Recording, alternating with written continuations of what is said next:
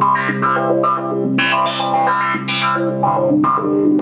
this is Synthchaser with synthchaser.com and today we're going to be repairing this Oberheim OB-Xa synthesizer. This is an 8-voice keyboard and the main reason that it's been brought to me for repair is the auto-tune isn't working and, and even when auto-tune passes the voices they sound out of calibration. And uh, so when you turn the keyboard on uh, you'll hit the auto button and it will cycle through the different voices that are installed in the, in the, in the keyboard. Each voice has its own voice card. And then any voices that fail will be indicated by a flashing light. And those voices will be removed from the rotation. So here uh, voices 3 and 8 failed, so we have 6 voices active.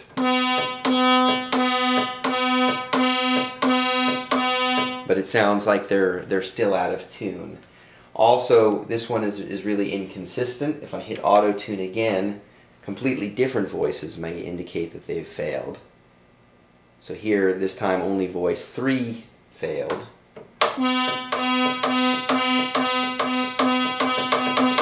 But it definitely doesn't sound like it's in tune. Also, as I'm sure you noticed, the keyboard is very noisy. Some of the keys here are sticking up. Uh, so basically we need to to redo the bushings on this keyboard. Uh, additionally, uh, one of the buttons here, this oscillator 2 mod button is not working. Uh, you can hear it, it makes a nice click when you engage it. This one is, is not working. Uh, also, the this uh, this particular keyboard is has MIDI. It's got an older Kenton MIDI kit installed, and uh, the customer reports that the MIDI out is working, but the MIDI in is not. And I mean, that's, that's kind of what you would want a MIDI kit on a vintage synthesizer for, is to be able to use MIDI in and control it, uh, you know, via computer or another keyboard. Um, so to open up, uh, we're going to open up and have a quick peek inside this keyboard and discuss what we're going to do. To open up the OB series keyboards, uh, there's two screws on each side, one, he one here and one here, and on the other side that you remove. In this case, I've already removed them. And then the top folds up, and you have access to the inside. So over here is the power supply, and these are the original capacitors. So we're going to do a power supply rebuild for this for this uh, keyboard, uh, which entails replacing the capacitors and bridge rectifiers and um, adjusting the voltages. These are the microprocessor board. Here, uh, this particular one has the, uh, the uh, Oberheim expansion board. This expanded it from a 56 program keyboard to 120 program keyboard. And then, uh, as I mentioned, it has an older Kenton MIDI kit here, which we're going to need to take a look at. Uh, and then over here, the, the voice motherboards with the voice boards installed. So there's one on the top and there's one on the bottom. Uh, each of these trays can hold four voice boards. Uh, this particular one has all eight filled. Um, he said that when he got it, it had uh, six, and he added two. So they're they're not perfectly matched to begin with, and I could see that the capacitors um, they're different brands. So you know, and you can see like this one versus this one. This one is blue, this one is black. Uh, so you know the, the capacitors have aged you know they're different manufacturers they've they're old some are older than others they've aged differently perhaps.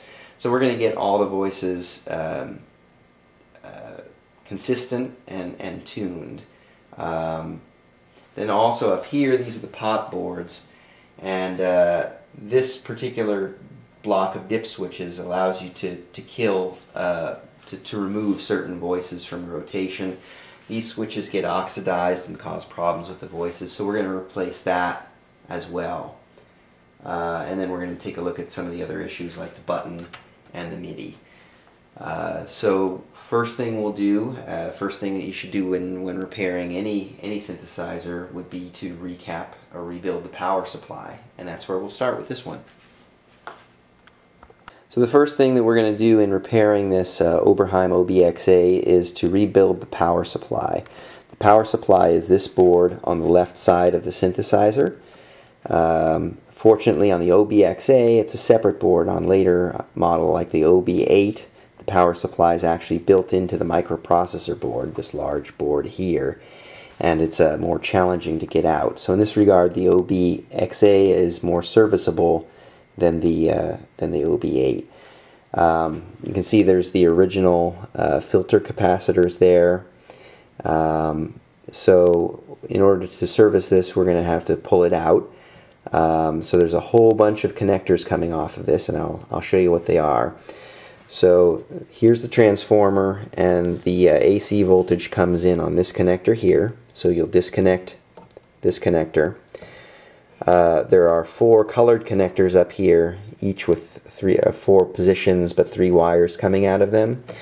And they go back here to these uh, uh larger uh, transistors that are mounted on heat sinks on the back of the on the, the, back of the synthesizer.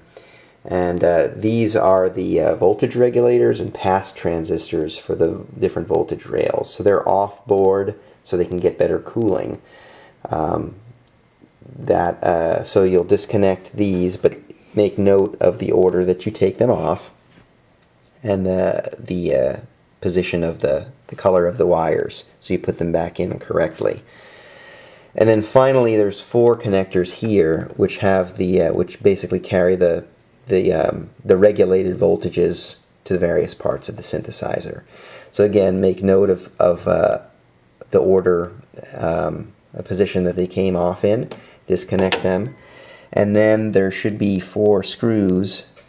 There's one here. Uh, someone's worked on this and not put a screw back uh, in the in each corner. You'll remove those screws and then you can take the power supply out. So I'm going to do that now and then we'll discuss what we're going to do to the power supply. So this is the power supply that's been removed from the synthesizer. This actually has an additional connector that I didn't go over in the removal process. This is for the Kenton MIDI kit. Uh, there was also another wire soldered here at the negative uh, uh, terminal of this uh, capacitor, uh, possibly also for the, for the Kenton kit. So uh, someone has worked on this power supply before, I can tell. Uh, this is what the original bridge rectifier looks like. It's a 1 amp bridge rectifier. And then uh, someone's replaced this, which is the, the bridge for the 5 volt rail, uh, with, a, with a beefier bridge rectifier. And that's a very good idea. These bridges run very, very hot, um, and they're a common failure point in the OB series synthesizers. Uh, I've seen them short out which causes the fuse to blow. Um, and then also I've measured some of them with thermal camera. Um, in particular, the, the 5 volt rail, I've seen the bridge running like about 140, 150 degrees Celsius. Uh, the part is rated for about 120 degrees Celsius. So by improving the, uh, by upgrading the bridge rectifier, you're going to take a, a, a, lot of the heat off of it and uh, it'll last longer. So I sell a kit uh, a recap kit for the OB-Xa that includes all the capacitors but also includes the bridge rectifiers. So we're going to replace these these two bridges which don't run as hot as this one. Uh, we're going to change it from a 1 amp bridge to a 2 amp bridge rectifier. And then the this one, even though someone's replaced it before, we're still going to replace it uh, with the one from my kit, uh, which is a 6 amp bridge rectifier. And that should take a lot of the heat off of it, uh, make it last longer. We're going to change out all the capacitors on this board, all the, the electrolytic capacitors. Uh, sometimes there's a tantalum one here, but um, so we're going to replace these main filter capacitors and then these smaller capacitors. They're all original. Uh, we're also going to clean any oxidation off of these uh, header pins. Um, some some people, you know, uh, will replace them with with gold-plated connectors. Um, you can also replace the voltage regulators and all the trimmers everywhere in the synthesizer. But to keep this repair, you know, economical, but to address the things that are going to make the synthesizer stable for a long time, we're going to change the capacitors. We're going to replace the bridge rectifiers. We're going to clean the, the connectors, and we're going to adjust the voltages um, to to 15 uh, and and 5 volts. Uh, so I will depopulate this board and um, and show you what it looks like empty and then we'll put the uh, the parts back in and move on to the next task.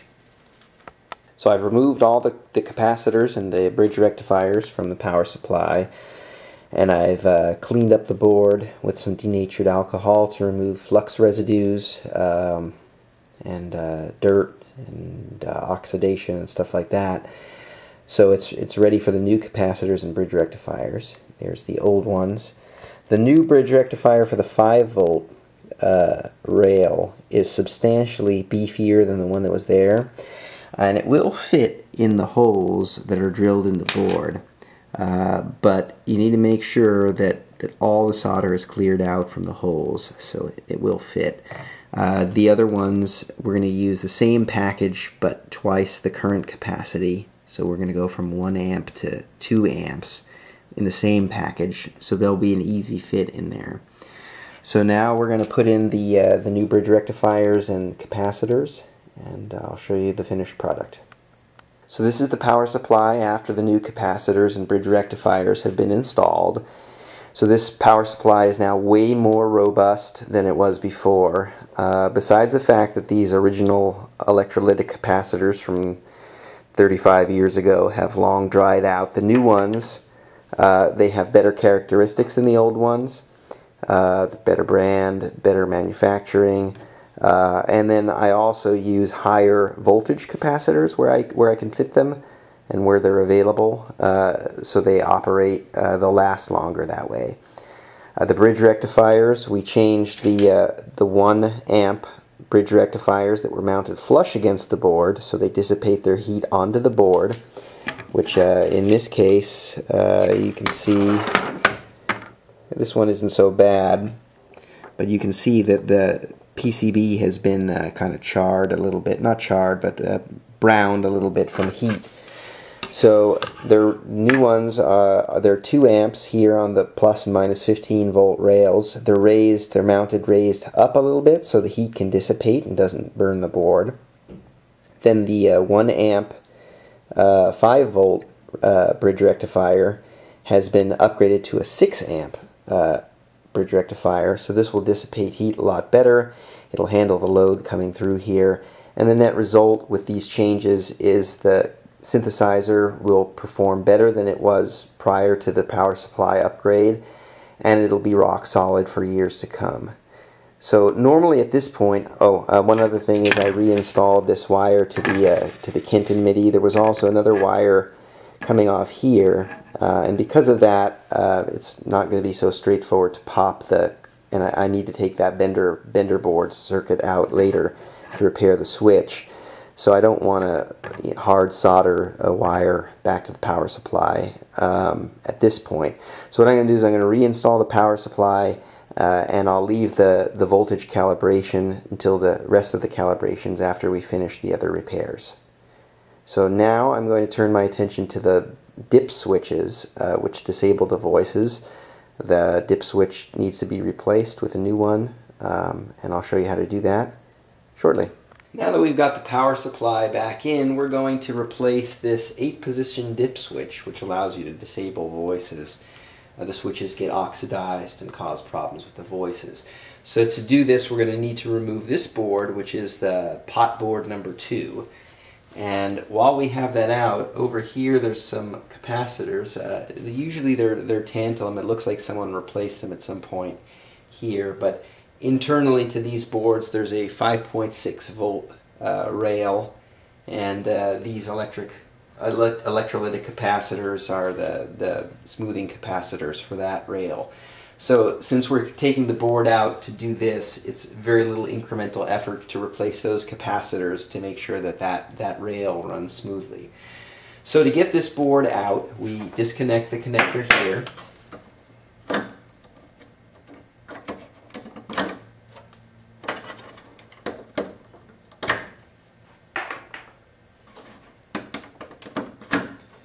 And then there's uh, some screws one, two, three, four, five, six that hold this board to the uh, to the panel. Uh, so we're going to use a quarter inch uh, nut driver to release these. Uh, but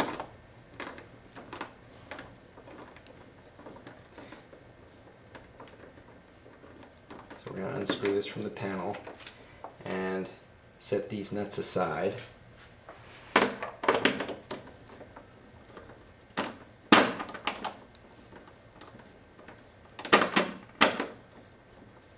So once I get these nuts off, I'll show you the next step. So I've removed the six nuts and the only thing that's holding this board right now to the panel are the uh, the the cap, the knob caps for the potentiometers. And I've taken all of them off except one. So when I take that last one the board is released. And, uh, and it comes off like this uh, in this case I guess there's also some wires here for the for the Kenton MIDI kit that are hard soldered onto the board so I'm going to have to set something down below to, uh, to work on this. Normally I would move the, the synthesizer out of the way and uh, just work with the board on the bench. But in this case, uh, since they're kind of going all over the place down below, let me uh, zoom out a little bit and maybe you can see it. I'm going to grab the camera and then you can see it.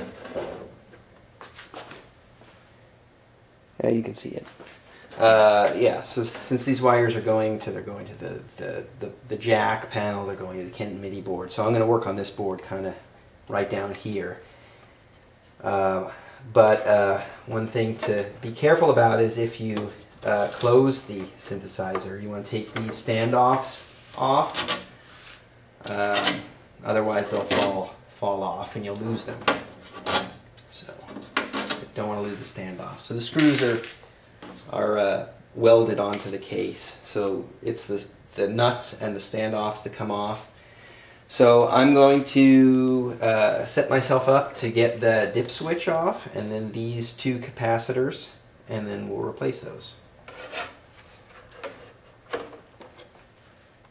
So I've changed the dip switches and the two capacitors on pot board number two and I put it back so I put the standoffs back in I put the board on and then I, uh, I, I, screwed in the, the nuts, uh, reconnected the four connectors there, and I also put the, the knobs back on.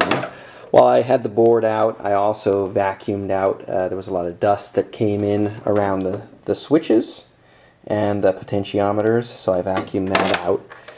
Um, and then everything is tucked away. Uh, also, when you when you're done with this, make sure that all the, uh, the switches are on. That will save a lot of uh, troubleshooting later if you forget that, that maybe you uh, maybe you knocked one of those to off when you were uh, installing the switch. So now we can turn our attention to the uh, voice cards. So I'm going to pull all eight voice cards out now, starting with the ones here on the upper uh, upper voice board tray. Uh, this is voices 5 through 8. And the way that you remove the, uh, the voice cards is uh, unscrew them. So there's one, two, three, four, five, six screws on each, and then they lift up, uh, and these connectors will, will come off. So I'm going to pull the voice cards out, and then I'll show you how to get to the lower tray to get the eight voice cards that are down below. So I've removed three of the voice cards and I've unscrewed this last one to remove it. Simply pull it up and uh, these connectors come out. Uh, to get to the lower voice cards, uh, I've removed three screws, one here, one here, and one here. Then I can disconnect this connector and then this tray will fold up like this, providing access to the voice cards down below. And the process is the same. Remove the six screws, lift the voice card out. So I'm going to get the remaining vo four voice cards out and then uh, we'll uh, recap them and change the, the trimmer on them. So now we've got the voice cards removed, we can recap them and change the trimmer pots. Um, we'll take a look at one of these voice cards here. So there's some capacitors sprinkled throughout the boards and we're going to change all of these. They're all electrolytic capacitors that we're changing. Um, Two of them are, are just used as decoupling capacitors uh, on the power supply rails, and the others are used in the signal path. The, so the capacitors that I put in the kit for the signal path are, are high-grade audio grade uh, capacitors, and the other ones are more appropriate for power supply um, or general use. Uh, the other thing that we're going to do is we're going to change these two trimmer pots. So there's 15 trimmers uh, on on each voice board. They control like the pulse width, uh, tuning, volts per octave, uh, things like that for each of the oscillators, the filter. Uh, so the, these are the trimmers for oscillator 1, these are the trimmers for oscillator 2. And they use the absolute cheapest potentiometer for the initial frequency for oscillator 1 and oscillator 2. It's a single turn pot and it makes it very, very difficult to, to, to calibrate and tune these oscillators to each other and, and tune them correctly. So these two are the most critical ones that we need to replace and we're going to replace them with this style of, of trimmer. It's a multi-turn 20 or 25 turn uh, potentiometer of the same value uh, that's going to allow us to get this instrument in better tune um, and get the get the oscillators tuned to each other better as well. Uh, so we're going to remove those parts, uh, the capacitors and those two trimmers from each of these voice boards and put the new part in and then I'll check back with you. And here's the completed voice cards uh, and the pile of capacitors and trimmers that we took off of them. So we replaced all the capacitors, the electrolytic capacitors, uh, these are the two uh, non-audio grade and the others you can see they're the gold audio grade capacitors. And then also we replaced these uh, these single turn trimmers with uh, multi-turn trimmers for the initial frequency for oscillator 1 and oscillator 2 um, unfortunately that's not all the work that we need to do to get this in tune and sounding good. This is just the first step the the, the leg work um, now we need to put the voice boards back into the keyboard and we need to calibrate them. We need to adjust all 15 of these trimmers that are on there uh, to get everything, the filter, the oscillators, everything in tune and, and calibrated correctly. Um, so this keyboard, uh, the the keyboard, we need to do the bushings and the bus bar is dirty. So when, when I'm playing notes, they're often re-triggering. So that's going to make it difficult to uh, to calibrate the the voices if the the bus bar and the key contacts are dirty. So the next part of the video we're going to uh, refurbish the keyboard. We're going to change the bushings, uh, we're going to level the keys, and we're going to clean the bus bar and the key contacts. And then once we're done with that, we'll come back and, and calibrate the voices and uh, the power supply and, and everything else in the synthesizer. And that'll be uh, another video. So stay tuned for the next part where we uh, where we refurbish the keyboard. Thanks for watching.